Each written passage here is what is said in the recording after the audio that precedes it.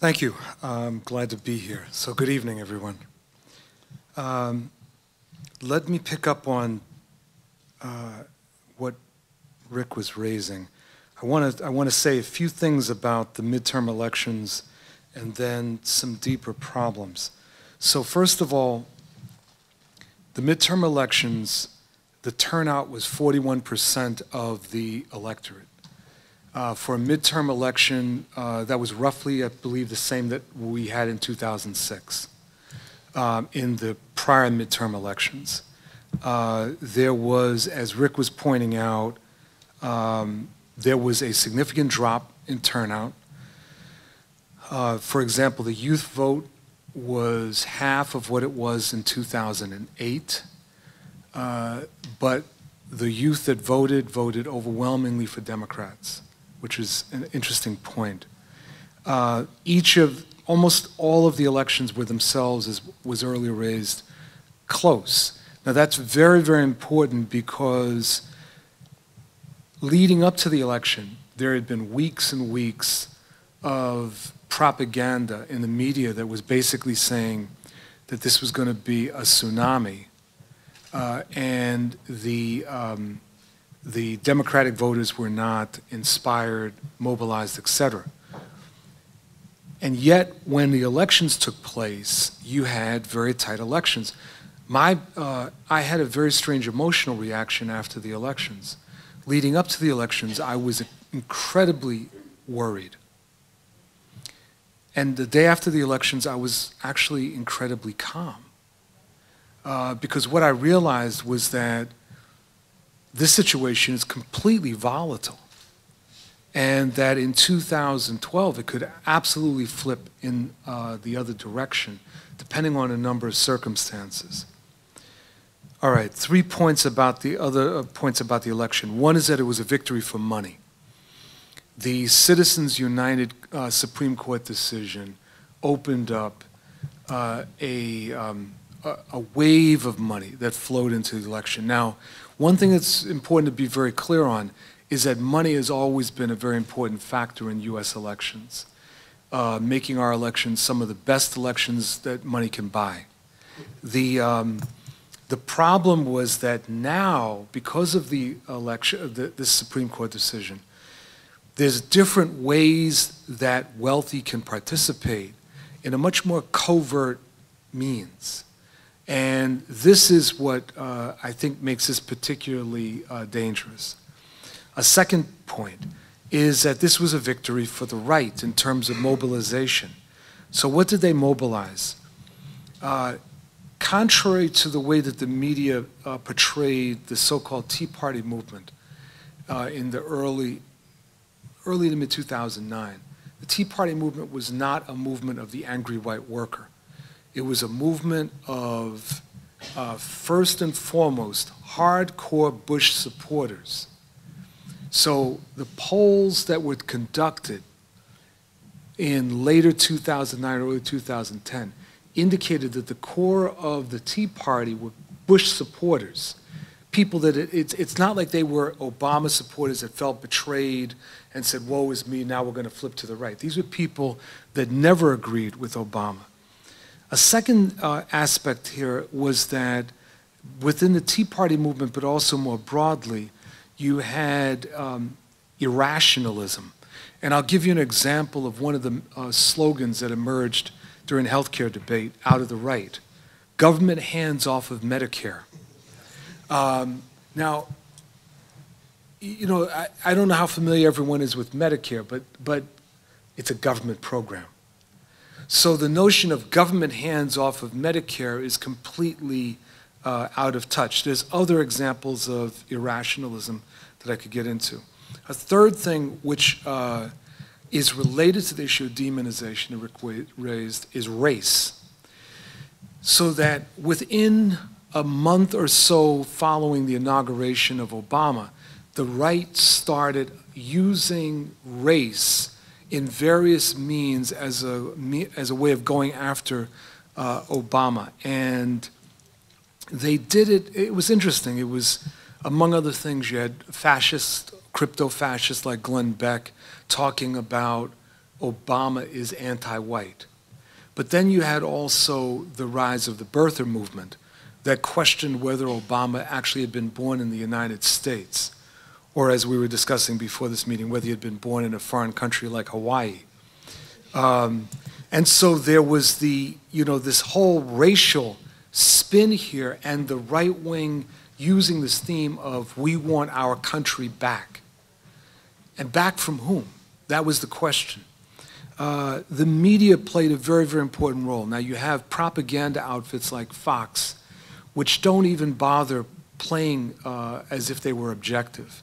But what's also interesting is not so much the extreme right in the media, but the more mainstream forces that gave an inordinate amount of time to the right, including but not limited to the, um, uh, the Tea Party forces. And then there's this issue of the fear within the middle strata, the white middle strata. That is that uh, what's interesting there was that people that not necessarily had not necessarily been hurt by the crisis in any dramatic ways, losing jobs, nevertheless their fear of what might be coming down the road ended up playing a, a major role in mobilizing them. Third point, the uh, demobilization of Obama support. And I don't want to repeat everything that Rick raised, but I, um, I want to just mention a couple of things. On a tactical level, Obama made a very, very serious mistake that Margaret Thatcher and Ronald Reagan did not make, which is that, uh, in part because, in my opinion, his psychological makeup, he did not focus on what he had inherited. In fact, very quickly after taking over, there was very little attention to what had preceded him, making it that much easier for the right to turn the entire economic crisis into Obama's economic crisis. This doesn't relieve him of other things, but it's a tactical mistake. Um, there was also on his part what I've been calling premature compromising. We saw this again and again and again, including in the healthcare debate, where uh, immediately Obama removed Medicare for all or single payer health care from the table, from discussion. He pulled this off and said, essentially, if we were in some other magical land and we could start from scratch, single payer would make sense. But we don't. Therefore, we're going to uh, start from where we are. That, followed by compromising on what was called a public option, um, really hit at a, an important component of his base. But there were other uh, forms of compromise. Now, all of these, I think, contributed to the, the results in the midterm elections. But I want to, uh, in my final couple of minutes, say this about uh, where I think that the fundamental mistakes were made. The fundamental mistakes were made by the progressive forces and liberals that had supported Obama in 2008 and failed to hold him accountable. So this is another side of what Rick was raising. He was saying that Obama did not build a base.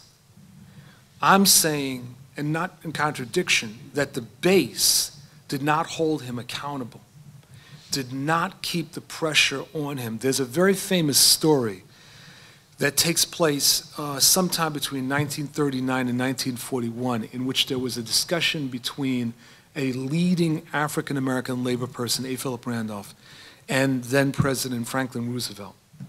And in this discussion, Randolph lays out a series of programmatic reforms that he wants Roosevelt to enact.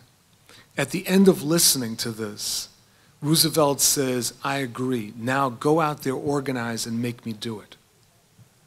Um, in fact, that's exactly what Randolph did.